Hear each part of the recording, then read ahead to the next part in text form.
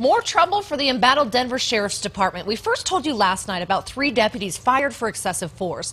And now Denver 7's Jennifer Kovaleski has found it's likely those same deputies could get their jobs back. Jen, it could also cost taxpayers? Molly, if these deputies are reinstated, taxpayers could be on the hook for thousands of dollars in back pay. And it wouldn't be the first time. I spoke with a civil rights attorney who says that's the root of the problem. There is no point in firing these officers. The narratives and videos are all too similar, with matching discipline letters citing the same reason for termination inappropriate force. These three Denver deputies are just the latest to lose their jobs for going too far. One deputy slammed an inmate into a metal table, another smashed an inmate's finger, while the other punched an inmate in the face. It seemed like very high levels of inappropriate force.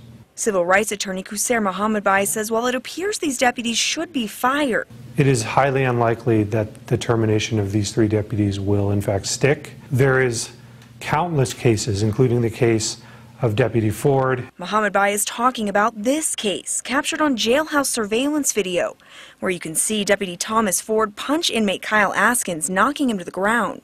Deputy Ford cold-cocked Kyle Askin uh, without any reason whatsoever. Deputy Ford lost his job over that punch, but 14 months later, the Career Service Board, which oversees discipline for the department, overturned his firing.